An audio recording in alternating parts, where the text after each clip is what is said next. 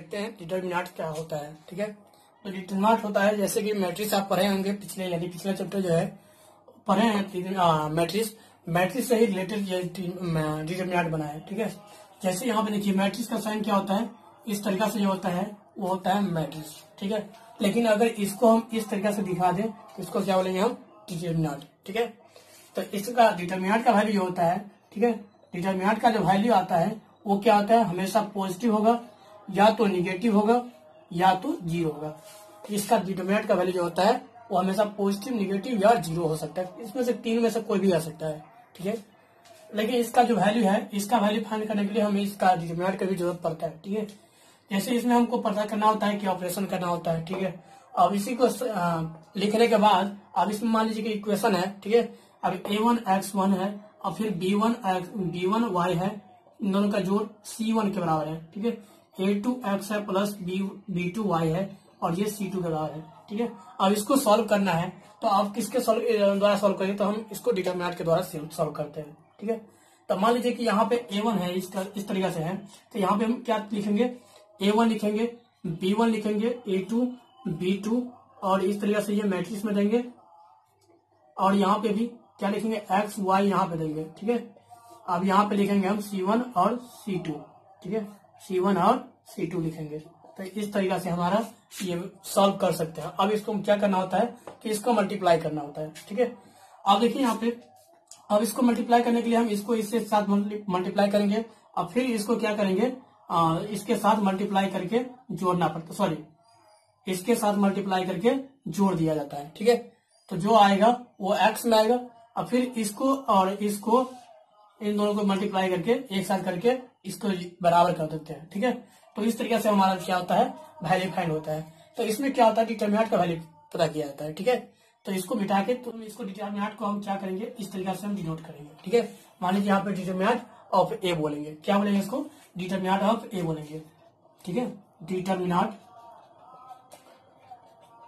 Of a इसको हम यहाँ पे देखिए, इस तरीके से क्या होता है? मॉडलस ही होता है। तो हम इसको मॉडलस नहीं कहेंगे, ठीक है? इसको मॉडलस नहीं कहेंगे इसको हम पढ़ेंगे डिटर्मिनेंट ऑफ़ ए अब इसका वैल्यू क्योंकि यहाँ पे पॉजिटिव और निगेटिव और ज़ीरो भी हो सकता है। लेकिन अगर मॉडलस होता है तो क्या होता है? इसका वैल्यू हमेशा पॉजिटिव होता है। निगेटिव भी होता है इसके अंदर तो क्या होता है? पॉजिटिव होता है। अब देखिए मैट्रिक्स डिटर्मिनेंट है तो इसका ऑर्डर जो होता है ऑर्डर यहाँ पे देखिए, आपको दो ऑर्डर में पढ़ना है, ठीक है? आपको टू ऑर्डर में पढ़ना है और थ्री ऑर्डर में पढ़ना है। तो देखिए टू ऑर्डर में क्या होता है? कि टू ऑर्डर में क्या होगा? कि यहाँ पे ए वन है ए वन वन है ए वन टू है इस तरीके से लिख देते हैं? A two A three A four है, ठीक है? इस तरीके से है। तो हमको यहाँ पे क्या समझना है? डिटर्मिनेंट तो यहाँ पे डिटर्मिनेंट ऑफ़ ए लिखेंगे, यहाँ पे ए लिखेंगे तो इतना है, ठीक है? और ऑफ़ ए लिखेंगे तो हम यहाँ पे डिटर्मिनेंट को हम इस तरीके से हम डिनोट करेंगे, ठीक है? ए फोर तो इस तरीके से हम क्या करेंगे? डिटर्मिनेंट को लिखते हैं, ठीक है? तो अब यहाँ पे देखिए डिटर्मिनेंट और मैट्रिक्स में क्या है? थोड़ा सा फ़र्क है, ठीक है? लेकिन यहाँ पे सेम चीज़ कर रहा है, ठीक है? लेकिन यहाँ पे देखिए, इसका वैल्यू निकालिएगा। तो अब इसको यहाँ पे डिटर्मिनेंट ऑफ़ ए निकालने के लिए आपको क्या करना होता है कि इसको इससे मल्टीप्लाई कर दीजिए और इसको इससे मल्टीप्लाई करके सब्सट्रैक्ट कर दीजिए। यानी कि यहाँ पे ए वन और ए फोर को मल्टीप्लाई कीजिए और यहाँ पे ए थ्री और ए फोर को मल्टीप्लाई करके ए टू को मल्टीप्लाई करके सब्सट्रैक्ट करके जो आएगा, वही वैल्यू आएगा, ठीक है? जो हो, वही वैल्यू होगा। ये इसमें आप निगेटिव भी हो सकता है पॉजिटिव भी हो सकता है, कुछ भी हो सकता है, या ज़ीरो भी हो सकता है। तो इसको हम लिख सकते हैं निगेटिव हो, या पॉजिटिव हो, या ज़ीरो भी हो सकता है। इन तीनों में से कोई भी हो सकता है, ठीक है? इन तीनों में से कोई भी हो सकता है। तो इस तरीके से क्या होता है? डिटर्मिनेंट होता है। और फिर थ्री क्रॉस थ्री क्या होता है? यानी थ्री ऑर्डर में क्या होता है, ठीक है? अब इसको हम चेंज करेंगे थ्री ऑर्डर में, ठीक है? तो अब यहाँ पे देखिए, अब इसके बारे में प्रॉपर्टी के बारे में पढ़ेंगे, ठीक है? प्रॉपर्टी के बारे में, ठीक है? तो प्रॉपर्टी क्या होता है? डिटर्मिनेंट का ये आप जानेंगे ठीक है? प्रॉपर्टी अब यहाँ पे देखिए प्रॉपर्टी क्या होगा? यहाँ पे देखिए, ये एलिमेंट डिटर्मिनेंट है। डिटर्मिनेंट में अब यहाँ पे इसका वैल्यू फाइंड करने के लिए कोई प्रॉपर्टी होता है प्रॉपर्टी लागू करने से क्या होता है? हमारा सॉल्यूशन आसान हो जाता है, ठीक है? इस तरीके से हम इसमें प्रॉपर्टी यूज़ करते हैं। तो देखिए प्रॉपर्टी कुछ आसान आसान जो है, क्या है? तो यहाँ पे देखिए फ़र्स्ट में क्या होगा? अगर यहाँ पे दो रो ठीक है? या दो रो का जो वैल्यू है ठीक है? वो या तो सेम हो, ठीक है? अगर दो रो का वैल्यू सेम हो, मान लीजिए कि ए वन बराबर क्या हो? ए टू हो, ठीक है? और बी वन बराबर बी टू हो, और ये सी वन बराबर सी टू हो, ठीक है? तो इस तरीका से दो रो का वैल्यू यानी कि सेम हो, या अनुपातिक हो, यानी करस्पॉन्डिंग हो, यानी देखिए A one by A two हो, या B one by B two हो, या C one by C two हो, ठीक है? इस तरीका से हो, ठीक है? इस तरीका से हो तो इसको क्या बोलेंगे, इसमें क्या बोलेंगे डिटर्मिनेंट ए का वैल्यू ज़ीरो हो जाएगा, ठीक है?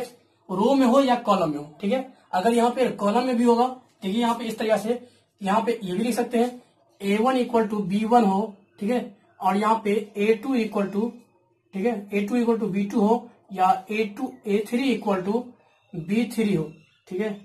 कोई एक वैल्यू यानी कि दो रो या दो कॉलम इक्वल हो जाएगा, ठीक है? या उसका रेशियो इक्वल हो जाएगा तो क्या हो जाएगा, उसका डिटरमिनेंट का वैल्यू वो ज़ीरो हो जाएगा, ठीक है? इस तरीके से ये पहला प्रॉपर्टी था, ठीक है? और यानी कि एक प्रॉपर्टी वो भी हम समझेंगे, जो यहाँ पे इसका हम डिटरमिनेंट का वैल्यू जो निकाले थे, ये एक्सपैंड मेथड से, वो एक्सपैंड मेथड बोलेंगे इसको, ठीक है? जैसे हम इसको लिखे थे ना, यहाँ पे ए वन होगा तो यहाँ पे क्या हो जाएगा? B two B three B two B three C three और माइनस में सी टू और ये बी थ्री इतना होगा? माइनस में होगा और ये B one into C A two C three minus में A three A three C two और प्लस में सी वन के रिस्पेक्ट में A one A two A two B B two A two B three A two B three और minus में A three B two A three B two तो इस तरीके से जो था, इसको हम बोलेंगे एक्सपेंड अब यहाँ पे देखिए दूसरा प्रॉपर्टी ये हो गया ठीक है? अब तीसरा देखिए यहाँ पे दूसरा इसको मान लेते हैं तीसरा तीसरा प्रॉपर्टी क्या होता है? तो देखिए तीसरा प्रॉपर्टी क्या होगा कि इसमें यहाँ पे देखिए भी आ, क्या होगा कि इसमें मल्टीप्लाई करेंगे ठीक है? अगर मान लीजिए कि डिटरमिनेंट ऑफ़ ए है ठीक है? डिटरमिनेंट ऑफ़ ए है तो यहाँ पे अगर मल्टीप्लाई कर थ्री से तो यहाँ पे क्या हो जाएगा? ये तीनों रो और तीनों में गुना होगा ठीक है? तो यहाँ पे हो जाएगा सत्ताईस सत्ताईस ए हो जाएगा डिटरमिनेंट ऑफ़ ए ठीक है? इस तरीके से होगा, ठीक है? यानी कि तीन यहाँ पे अंदर में होगा तीन, ठीक है? थ्री इतना होगा अंदर में तो इसको क्या हो जाएगा? इतना लिखेंगे। तो देखिए, इसलिए क्योंकि यहाँ पे देखिए डिटरमिनेंट ऑफ़ ए का वैल्यू अगर थ्री ए रहेगा, ठीक है? अगर यहाँ पे थ्री ए है, ठीक है? तो three A one three B one three C one ठीक है? और यहाँ पे three B A two three B two और three C two three A three three B three और थ्री सी थ्री इस तरीका से रहेगा। तो अब यहाँ पे देखिए, एक रो से अगर निकालिएगा कॉमन लीजिएगा तो यहाँ पे क्या होगा? एक रो से कॉमन लीजिएगा तो यहाँ पे हो जाएगा थ्री ठीक है? ये किसी रो में कॉमन लिया जाता है, ठीक है? ये पूरे में नहीं होता है। अगर यहाँ पे थ्री से मल्टीप्लाई किए हैं, यहाँ पे अंडर में थ्री है ठीक है? तो यहाँ पे थ्री से मल्टीप्लाई किया हुआ ये चीज़ है मैट्रिक्स है। अब यहाँ पे देखिए, इसको अब यहाँ पे डिटर्मिनेंट में लिए हैं तो डिटर्मिनेंट में लेने के लिए क्या करना पड़ेगा? अब यहाँ पे अलग अलग टर्म लेना पड़ेगा। तो यहाँ पे देखिए फ़र्स्ट रो जो होगा, वो अगर उसमें कॉमन लेता है थ्री तो यहाँ पे बाहर में थ्री ठीक है? और अगर सेकंड रो में भी कॉमन लेंगे तो यहाँ पे भी लिखेंगे मल्टीप्लाई में थ्री और फिर थर्ड रो में कॉमन लेंगे तो इसमें भी लिखेंगे मल्टीप्लाई बाई थ्री ठीक है? इस तरीके से लिखेंगे। और तब उसके बाद लिखेंगे ये A one B one C one A two B two C two ठीक है? और A three B three C three इसके बाद लिखेंगे इसे। तब यहाँ पे हम कह सकते हैं क्या चीज़? ये सत्ताईस गुना हो रहा है डिटर्मिनेंट ऑफ़ ए की ठीक है? तो इस तरीके से हमारा ये शॉर्ट आउट होता है, ठीक है? शॉर्ट कर सकते हैं, यानी आंसर निकाल सकते हैं। तो ये क्या होता है? फॉर्मूला होता है। यानी कि अगर आप ये याद रखना है कि अगर एक रो में मल्टीप्लाई करेंगे, ठीक है? एक रो में मल्टीप्लाई करेंगे तो यानी कि कोई भी कांस्टेंट नंबर से, कोई कांस्टेंट नंबर से बाहर से मल्टीप्लाई किए यहाँ पे थ्री से तो यहाँ पे क्या हो जाएगा? एक ही रो में या एक ही कॉलम में मल्टीप्लाई होगा, ठीक है? और अगर यहाँ पे फिर से अगर फोर से मल्टीप्लाई कर दिए, ठीक है? फोर से मल्टीप्लाई कर दिए तो यहाँ पे मान लीजिए क्या चीज़ ये होगा फोर तो ये फोर ये फोर। कोई एक रो या कॉलम में मल्टीप्लाई कर सकते हैं। या इसको मान लीजिए फिर से अगर मल्टीप्लाई किया दो से, ठीक है तो हम इसको मल्टीप्लाई कर सकते हैं। थ्री की जगह पे सिक्स और यहाँ पे फोर की जगह पे एट और इसके जगह पे टू। तो इस तरीके से हम यहाँ पे क्या करेंगे? सॉल्व कर सकते हैं, ठीक है? और इस तरीके से आप सॉल्व करिएगा। तो यानी कि अब डिटरमिनेंट में ये समझ गए कि किस तरीके से मल्टीप्लाई करेंगे तो क्या निकलेगा, ठीक है? प्रॉपर्टीज़ क्या होगा? फोर्थ नंबर ठीक है? प्रॉपर्टीज़ फोर्थ देखिए। प्रॉपर्टी फोर्थ ये होता है कि अगर यहाँ पे कोई मैट्रिक्स है, ठीक है? डिटर्मिनेंट है, मान लीजिए डिटर्मिनेंट का वैल्यू क्या दिया है? ए वन है और प्लस में के है, ठीक है? ए वन है प्लस में के वन है, और यहाँ पे ए टू है ए थ्री है बी वन है प्लस के है के वन के टू कर दीजिए। और यहाँ पे बी टू बी टू है प्लस में के टू है सॉरी के टू यहाँ पे नहीं होगा, हर जगह नहीं होगा। और यहाँ पे बी थ्री है। और यहाँ पे क्या है? सी वन है, और K C one plus K three है। और फिर सी टू है सी थ्री है। इस तरीके से डिटर्मिनेंट है, ठीक है? अगर इस तरीके से डिटर्मिनेंट है, इसमें कुछ जुड़ा हुआ है कॉन्स्टेंट यानी कि एक ऐसा सॉरी के के ही मानिए। तो लीजिए टू और थ्री लीजिए, ठीक है? इस तरीके से कोई नंबर है अलग अलग नंबर है, अब इसमें जुड़ा हुआ है, ठीक है? तो अब यहाँ पे देखिए, इसको आप क्या करेंगे? ऑपरेट कर सकते हैं, ठीक है? तो ऑपरेट करेंगे, देखिए अलग अलग करेंगे, यानी कि अलग करिए। तो इसको क्या करेंगे हम? यहाँ पे ए वन फिर A two B one C one A two B two C two A three B three C three इस तरीके से डिटर्मिनेंट लिख दिए और फिर से ये अलग से लिख सकते हैं। प्लस में है तो यहाँ पे लिखेंगे प्लस में। के वन के टू ठीक है? के थ्री फिर B one sorry A two A two B two C two फिर A three B three C three इस तरीके से हम लिख सकते हैं, ठीक है? तो इस तरीका से यहाँ पे डिटर्मिनेंट ऑफ़ ए रहेगा तो हम इस तरीका से हम अलग अलग भी लिख सकते हैं, ठीक है? अगर इसमें कुछ जुड़ा हुआ है तो ठीक है?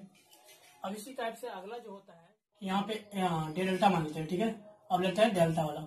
डेल्टा क्या है? कि यहाँ पे मान लेते हैं कि ए वन है बी वन है, और ये सी वन है। ए टू है बी टू है, और सी टू है। ए थ्री है बी थ्री है, और सी थ्री है। इस तरीके से ये डिटर्मिनेंट है, ठीक है? अब इसको हम सॉल्व ऑपरेट कर देते हैं, ठीक है? ऑपरेट कर देते हैं तो डेल्टा वन बना देते हैं, ठीक है? तो इसमें हम क्या करेंगे कि ए वन में प्लस कर देंगे के इंटू ए थ्री से मल्टीप्लाई करेंगे, ठीक है? इस तरह से तो कर सकते हैं मल्टीप्लाई करके। यहाँ पे हम लिखेंगे क्या चीज़? रो फ़र्स्ट में क्या कर रहे हैं? रो फ़र्स्ट में कि रो वन प्लस यहाँ पे के मल्टीपल ऑफ़ रो थर्ड ठीक है? इतना ऑपरेट करें अब यहाँ पे ऐसे अगर फॉलो करेंगे, ठीक है? या आप कॉलम में भी कर सकते हैं, ठीक है? तो यहाँ पे इतना होगा। अब यहाँ पे इसमें जब करेंगे तो रो में होगा तो यानी कि B B one plus K into यहाँ पे बी थ्री ठीक है? बी थ्री और अगला होगा सी वन प्लस में के इंटू सी थ्री ठीक है? इस तरह तरीका से जो होगा और फिर यहाँ पे क्या हो जाएगा? A two B two C two ठीक है? A three B three C three इतना हो गया। अब इसको जो आप ऑपरेट करेंगे, इसको और छोटा करेंगे तो इसको हम क्या कर सकते हैं? पिछले वाला रूल लगा के, ठीक है? ये फोर्थ फिफ्थ पांचवा रूल हो गया, ठीक है? पांचवा प्रॉपर्टी अब यहाँ पे देखिए, इसका जो रूल अप्लाई अप्लाई करेंगे तो यहाँ पे क्या होगा कि ए वन तो होगा ही ए वन बी वन और सी वन तो होगा ए टू बी टू और सी टू तो होगा, ठीक है? फिर ए थ्री बी थ्री और सी थ्री होगा, ठीक है? इस तरीके से डिटर्मिनेंट का वैल्यू होगा। अब यहाँ पे क्या करेंगे कि यहाँ पे देखिए, इसमें हम प्लस में लिखेंगे, अब बाकी इसका जो एलिमेंट है, यानी कि ए थ्री फिर बी थ्री यहाँ पे और सी थ्री यहाँ पे के जो मल्टीपल है तो के क्या करेंगे हम? यहाँ पे ध्यान दीजिए के तो के हो गया। अब इस तरीके से क्या होगा? लिख देंगे, ठीक है? इस तरीके से यहाँ पे ए टू लिखेंगे बी टू लिखेंगे सी टू लिखेंगे। अब यहाँ पे ए थ्री बी थ्री और सी थ्री लिखेंगे, ठीक है? इतना लिख दिए। अब लिखने के बाद ये डिटर्मिनेंट है तो यानी कि ये इतना डेल है, ये क्या है? डेल है। अब इसमें ध्यान दीजिए आप कि यहाँ पे इसका और यहाँ पे इन दोनों का जो रेशियो है, ठीक है? यानी कि R one by R three का जो रेशियो है, वो क्या हो रहा है? इक्वल हो रहा है, ठीक है? इक्वल हो रहा है। तो इसका मतलब जब करस्पॉन्डिंग एलिमेंट जो होता है, ठीक है? रेशियो अगर इक्वल हो जाता है तो इसका एलिमेंट का वैल्यू क्या होता है? इस एलिमेंट का वैल्यू ये पूरा का वैल्यू क्या हो जाएगा? ज़ीरो तो इसमें हम क्या करेंगे? ज़ीरो एड करेंगे। इसका मतलब हुआ कि डेल इक्वल टू डेल आ रहा है, ठीक है? तो इस तरीके से सॉल्व करेंगे, ठीक है? इसको मान लेते हैं डेल डेल ठीक है? तो यहाँ पे जो सॉल्व करेंगे, ठीक है? तो यहाँ पे क्या हो जाएगा? वैल्यू ही आएगा, ठीक है? तो इस तरीके से हम ऑपरेट करके ऑपरेट करके भी बना सकते हैं, ठीक है? इसका वैल्यू निकाल सकते हैं या आपको डायरेक्ट एक्सपेंड मेथड से आप निकाल सकते हैं, ठीक है? तो आपको यानी कि एक्सपेंड करके निकालना है तो आप डायरेक्ट निकल जाएगा। और यहाँ पे अगर ऑपरेट करके निकालिएगा तो ये रूल आपको याद रखना होगा। ठीक है? ये रूल आपको याद करना होगा। और अगला वीडियो आ, अब अगले मतलब प्रॉपर्टी समझाएँगे नेक्स्ट वीडियो में। तब तक इतना देखिए। इसी को आप देखते रहिए दो बार तीन बार देखिएगा आपको कंफर्म आ जाएगा दिमाग में आ जाएगा। और साथ में आप सवाल भी बना के देखिए। ठीक है? सवाल भी बनाइएगा तो समझ में आएगा। ठीक है? लेते हैं। ठीक है? एग्ज़ाम्पल ये लेंगे कि डेल्टा मान लीजिए कितना है, ठीक है? तो अब इसको क्या करेंगे हम? सेपरेट करेंगे, ठीक है? यहाँ पे फॉर्मूला से हम क्या करेंगे? पिछले प्रॉपर्टी से प्रॉपर्टी जो होती है थर्ड नंबर या फोर्थ नंबर दोनों में से यूज़ करना है, ठीक है? तो ये एक्स होगा वाई होगा जेड होगा, ठीक है? और यहाँ पे क्या होगा? X square Y square Z square अब यहाँ पे क्या देखिए प्लस में क्या आ जाएगा? प्लस वाला यहाँ पे कॉमन हो जाएगा, ठीक है? तो ये अलग हो जाएगा। अब यहाँ पे लिखेंगे हम क्या चीज़? एक्स वाई जेड और यहाँ लिखेंगे X square Y square Z square यहाँ पे लिखेंगे एक्स क्यू वाई क्यू और जेड क्यू तो इतना लिखेंगे। अब यहाँ पे देखिए, अगला स्टेप क्या करेंगे हम? तो यहाँ पे देखिए, इसको हम क्या करेंगे? इसको यहाँ पे कर देते इसको हम यहाँ पे कर देंगे, ठीक है? तो यहाँ पे क्या करेंगे? आर वन को, यहाँ देखिए आर वन को टेन पहले आर टू को चेंज करेंगे आर टू को चेंज करेंगे आर थ्री की जगह, ठीक है? इसको हम रिप्लेस करेंगे। और यहाँ पे साथ में फिर से हम कर देंगे कि आर वन की जगह पे, फिर यहाँ पे आर वन की जगह पे हम क्या कर देंगे? आर टू आर टू की जगह पे आर वन ठीक है? इसको पहले करेंगे, उसके बाद इसको करेंगे। तो इसको करेंगे तो ये यहाँ पे आएगा, ये वन वन इस बीच में आएगा और ये बाकी इस साइड आएगा। और फिर यहाँ से वन वन वाला चीज़ इस साइड आ जाएगा ये एक्स वाई वाला इस साइड आएगा। तो यहाँ पे हम लिख सकते हैं, क्या क्या लिखेंगे कि ये हो जाएगा वन वन वन ठीक है? और यहाँ पे हो जाएगा एक्स वाई जेड, और ये एक्स स्क्वायर, वाई स्क्वायर, और जेड स्क्वायर यहाँ पे होगा। इस तरीके से हो गया। अब इसको जो लिखेंगे, फिर से यहाँ पे इसमें एक्स कॉमन होगा, इसमें वाई कॉमन होगा, इसमें जेड कॉमन होगा, ठीक है? यानी कि एक्स, वाई, जेड तीनों में कॉमन हो रहा है, ठीक है? एक रो में एक्स कॉमन है, दूसरा रो में वाई कॉमन है, तीसरा रो में जेड कॉमन है। तो इसको कॉमन होने के बाद यहाँ पे वन, फिर एक्स, फिर यहाँ पे एक्स स्क्वायर बचेगा।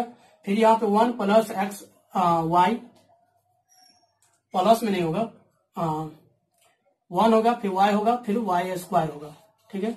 फिर यहाँ पे जेड वन होगा फिर जेड होगा फिर यहाँ पे जेड स्क्वायर होगा इस तरीके से होगा। अब यहाँ पे देखिए ये दोनों चीज़ क्या है? सेम है ठीक है? तो यहाँ पे दोनों चीज़ सेम है तो यहाँ पे क्या लिखेंगे हम? आ, ये क्या लेंगे कॉमन ले लेते हैं ठीक है? ये चीज़ कॉमन लेते हैं। तो यहाँ पे लिखेंगे one plus X Y Z ठीक है? इतना कॉमन लेने के बाद यहाँ पे क्या लिखेंगे हम? One X Y square one X X square ठीक है?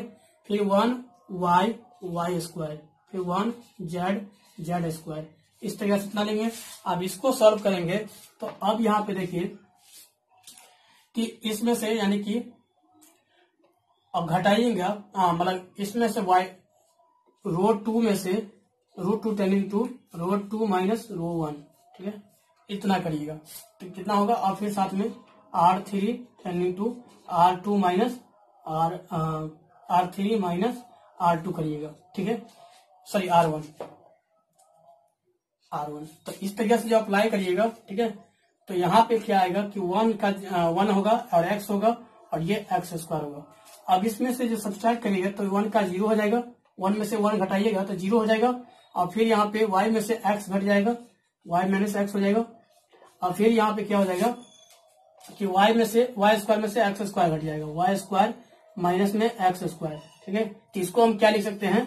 एक्स प्लस वाई या y प्लस एक्स लिख सकते हैं और फिर से यहाँ पे y माइनस एक्स लिख सकते हैं, ठीक है? और फिर से यहाँ पे अगला क्या होगा कि यहाँ पे जेड स्क्वायर ठीक है? ये ज़ीरो हो जाएगा यहाँ पे। फिर जेड में से y घटेगा। जेड में से y घटेगा और फिर जेड में से क्या घटेंगे? Z square minus Y square इसका मतलब Z minus X sorry Y X होगा। और इंटू जेड माइनस प्लस में एक्स इस तरीके से होगा। ठीक है?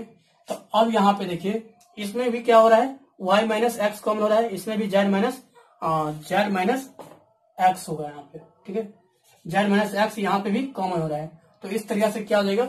इतना कॉमन था, इसके बाद क्या लिखेंगे हम? कॉमन ये चीज़ भूल गए यहाँ पे। ये जो है लिखा हुआ, ये कॉमन यहाँ पे होगा। ठीक है? One plus x y z यहाँ पे है। तो इस तरीके से हम लिखेंगे इसको क्या चीज़? One plus x y z, ठीक है? अब यहाँ पे इसमें भी ये कॉमन है, फिर इसमें भी कॉमन है तो यहाँ पे लिखेंगे हम एक्स वाई माइनस एक्स, फिर यहाँ पे लिखेंगे जेड माइनस एक्स, और इसके बाद ये जो डिटर्मिनेंट दिखाई देगा, वो वन होगा, एक्स होगा, एक्स स्क्वायर होगा, ठीक है? इसके बाद ज़ीरो होगा, और ये वन होगा, और ये y plus y plus x होगा, और यहाँ पे ज़ीरो होगा और यहाँ पे भी वन होगा और जेड प्लस एक्स होगा। इस तरीका से दिखाई देगा। अब इसमें आप सॉल्व करिएगा, ठीक है?